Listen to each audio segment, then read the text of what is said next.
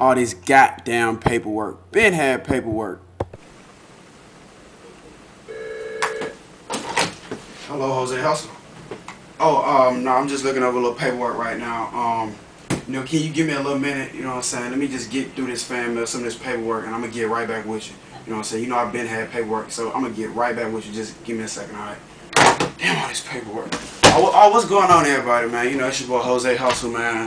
You know, I'm in my office. As you see, it's a little messy right now. I got all these contracts, this paperwork. You know what I'm saying? Real business, man. I'm just a little tired, but you know what? Y'all know I've been had paperwork. Look at all this paperwork, man. You know, so look, look at all this, man. I, have been had it. You know what I'm saying? Just look at this, all this, that, notes and stuff. You know what I'm saying? My lawyer calling me in, telling me I got all this stuff. I just been had. It's crazy right now.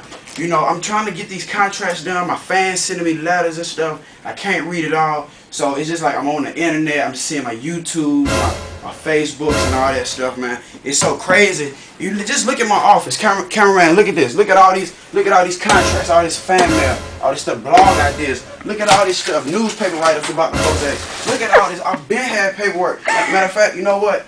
I got to go, man. Let me just put on my Louis bag. You know what I'm saying? Y'all know this bag. It's that Been had polo bag. So look, man, I got to go. My limo waiting outside. My driver, Russell, he told me about to leave me, so I got to go, man. Jose Hustle, Been had paperwork. I I'm out, man. Y'all.